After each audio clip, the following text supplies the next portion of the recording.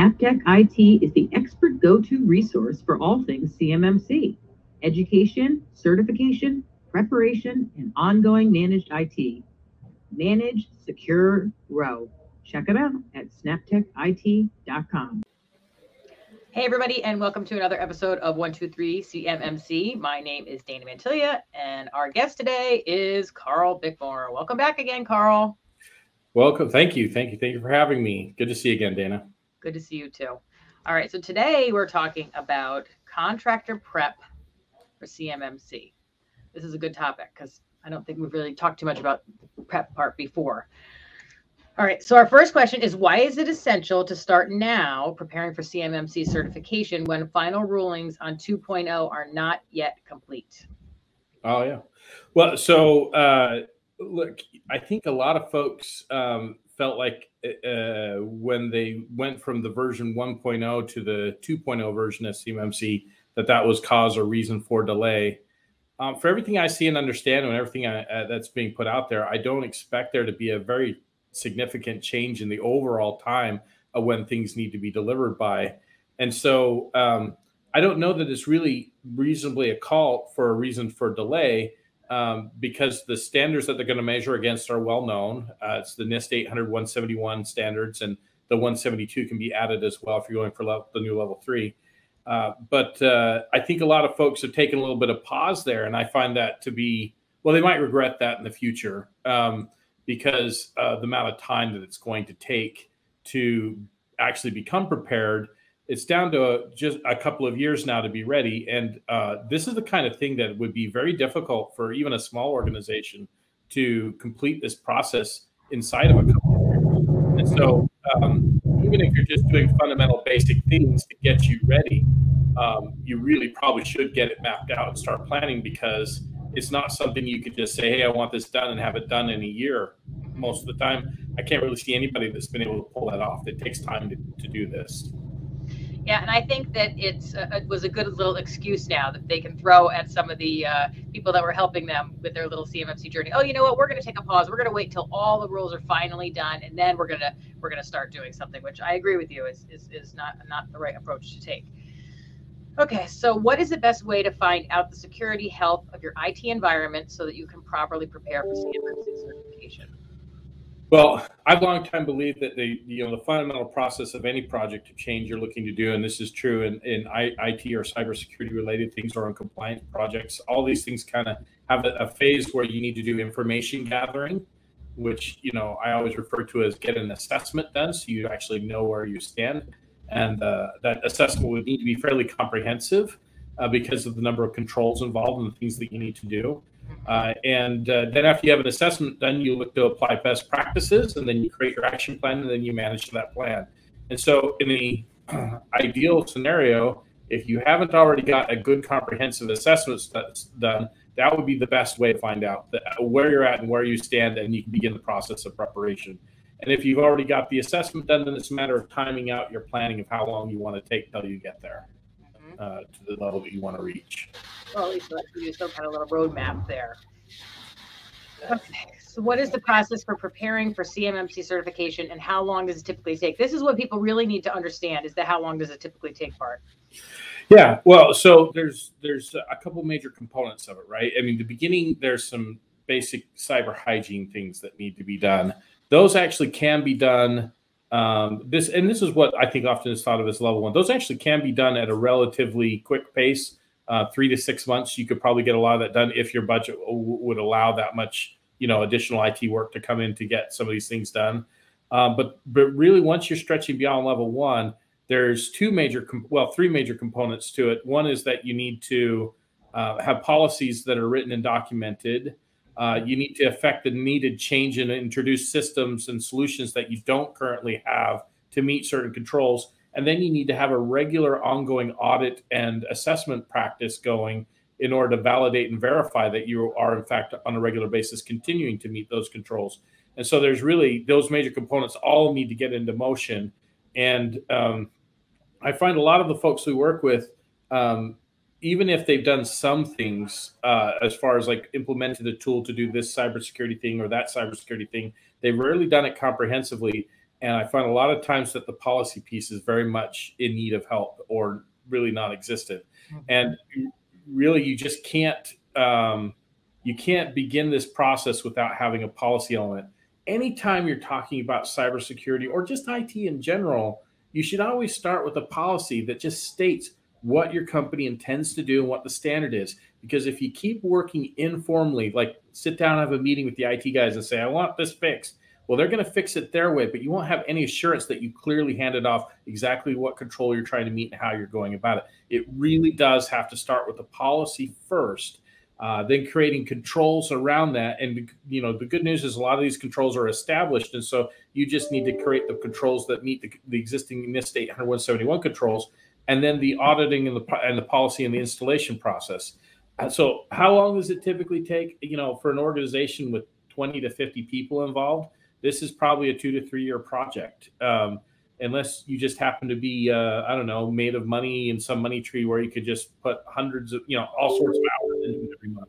It's it's really quite a lengthy process to put these process, processes together, the policies, the procedures, the auditing, and to get all the solutions implemented that you're going to need to. It's more extensive than people realize, I think. You know what else too? I was thinking about too with the, if if the policies are not written down, and let's say you have some turnover within your staff, you know, sometimes that happens. It's like, oh, the IT guy's been with us for a million years, and all of a sudden, you know, I don't know, he gets hit by a bus, and then it's like, whoo, wait a minute, what's going on? Well, you know, is so true. I mean, this is true of IT management in general, and any business owner of any kind should be concerned about documentation, procedures, and acting via policy. It's just especially true from a compliance standpoint because the compliance examines the policies and validates that you operate and correctly follow through on your policies. And so it's uh, it's a good practice anyway. And your point's well taken. It does not. That's why you write it down so there's no misunderstanding and so that there's no question about how to check it and validate it no matter who's doing it today tomorrow a year from now two years from now. It's more volatile than ever. The it field is no exception. There's certainly a lot of trade turnover and things happening. That just you really need to have things written down and easily understood by anybody. Yep that's for sure. All right so money. From an investment standpoint why is it important to plan your security roadmap for certification? Yeah well, I think you know, uh, look, I run a small business, right? And uh, there's all sorts of initiatives and things that I would love to get done, and new tools I'd like to implement. Uh, but the reality of it is, is we're bound by time and money, and you know, it's far more prudent to implement change one percent a day, for instance, as opposed to trying to do really big things to get a whole bunch done at once. It's better to be consistent, have a process that you follow, and so you know, from an investment standpoint, it, it typically is too much of of a burden to do big swaths at a time. There's a lot of IT spend that needs to happen to implement systems and to implement policies that uh, simply is easier to handle if you spread it out over a few years as opposed to trying to compress it into a year or even less. And so, you know, from an investment standpoint, that's good. It also ensures that that you're prioritizing what what is being implemented uh, accordingly um, based on both timing and risk, but also on the financial side of it. So, from an investment standpoint, a security roadmap is about creating a plan that you can budget to. You can know what your spend is going to be over the next couple of years and how you're going to approach it. And uh, you know, a good assessment will give you that budget of the things you need to do, and then you can move forward from there. Mm-hmm. Yep, absolutely. And like you said, you know, the budget part of it. And let's just say, for example, you get a contract and you have to have your certification done before you can, you know, get that contract. That's going to put a lot of pressure on your time frame if you're waiting to the last minute for things. Well, yeah, I, I mean, it, you know, sometimes you can get provi- provisional access to a contract based on submitting uh, an assessment with a system security plan and a plan of action and milestones. And if that's the case, then your submission of that timeline now becomes an expectation that that follows through and, and, and keeps your organization's ability to operate under that contract. And so it's one of those things that uh, you, you want to really be careful and specific about it and have well thought out about it. It's not something you want to take lightly or just, you know, kind of push the paperwork along to try to get onto that contract and get that work where uh, without paying any attention to this. There is more enforcement than ever happening even today, and it, it's expected to only continue to grow. It, look, the problem that's trying to be solved here is one of the supply chain risk and that problem is only getting worse every day. And so this is expected to become more intensive going forward. Mm-hmm. Unfortunately, all right, DoD contractors can get through a self-assessment on their own, but what about if the requirements like submitting like the supplier risk system, spurs as we call it, right? Yes. Uh, yeah. Uh, okay. Well, uh, I guess supplier performance risk system is the SPRS, right? Uh, but the uh, um, look, here's the thing: the ability to self-assess is important, and I think if you've got the team uh, and the folks and available and the expertise on the controls and the CMMC standards and how to report, you can you can take yourself all the way there. You don't need a third party to do it. Um, I think a big, big mistake that a lot of folks make, though, is they think, oh, I'll just go to my existing IT team. They know about this stuff and they can assess it. Well, one, you, you might be asking the fox to watch the henhouse, um, which is, um, you know, a bad practice because you may not get a true answer as to where you're at. Third party assessments are typically much higher recommended. Uh, and, and then secondarily, um, there's you know your average IT team will not know these controls, the ins and outs of the details, and how to execute on this. And so typically you need a third party for objectivity, but you also typically need a third party for um, for the uh, skill set. You know, and and, uh, and so look, if you can do it on your own, by all means, you can get your score. If you know how to do the Department of Defense scoring mechanism from the negative 210 to positive, uh, 110 or something like that, uh, you know, you uh, you can go ahead and do it. Um, but I would caution you to be careful about it and to not submit knowingly false or improper or incomplete information. That's probably worse than not submitting a score. Uh, but the key thing is, it's like, can you do a self assessment? Yes, you can. You can also hire uh, consultants to help you with your self assessment. You don't have to do it with your own team, your own people, to, in order for it to be considered a self assessment. Yeah, and I think when you're submitting the SPRS score, you should probably have somebody there that specializes in that, if for nothing else, just to make sure you're doing it correctly, because you may be thinking, oh yeah, we do that. And you know, the person who's a professional in this, such as yourself, may say, "Oh, not exactly."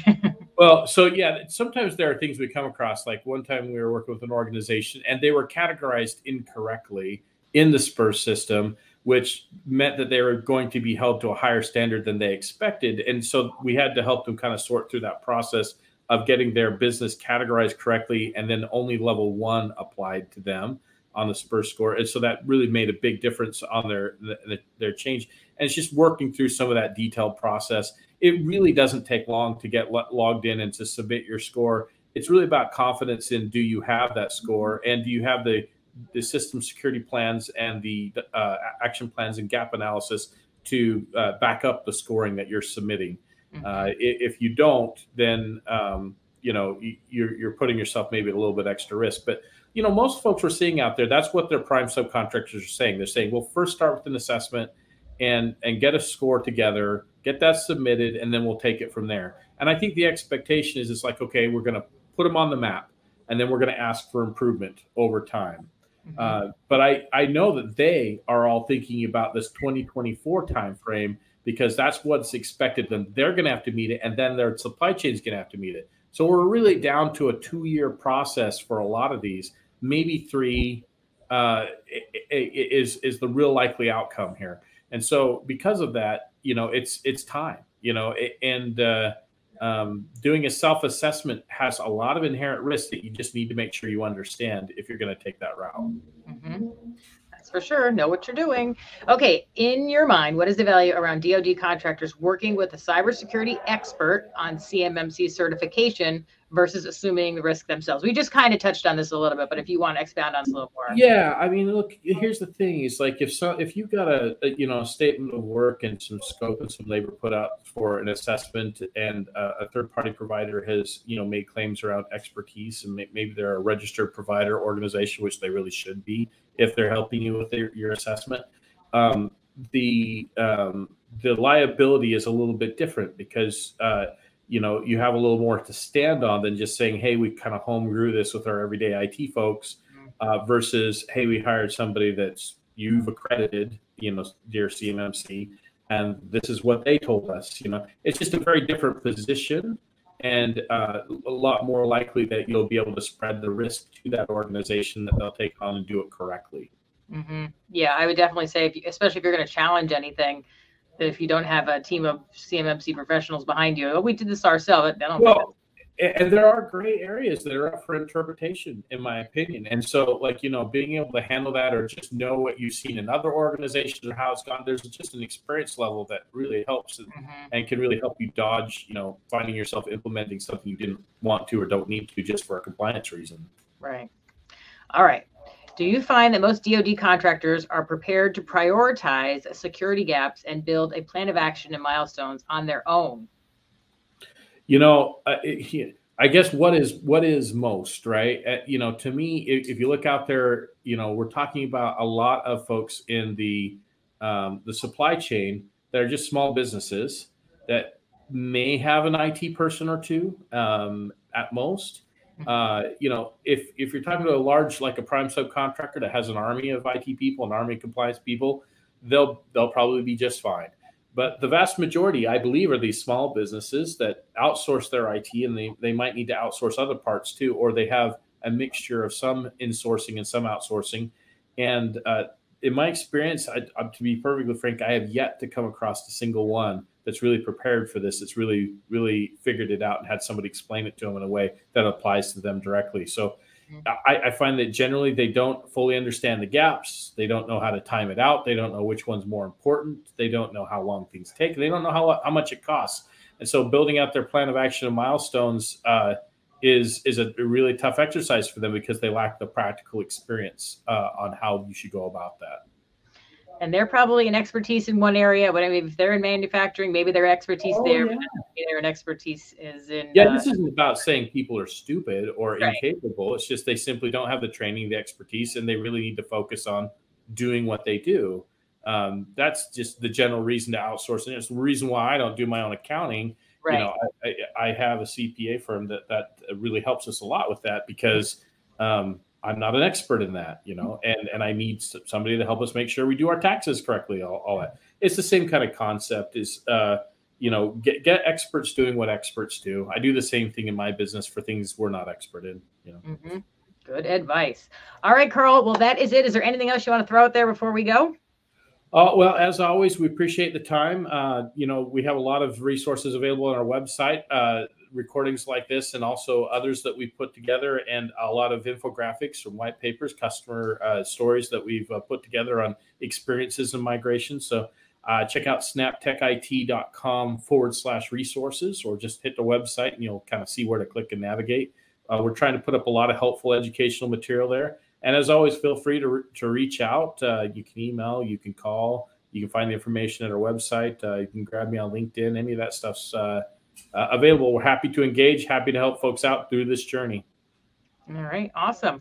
Well, thank you for watching, everybody, and we'll see you on the next episode of 123 CMMC. Take care, Bye-bye. everybody. Yeah.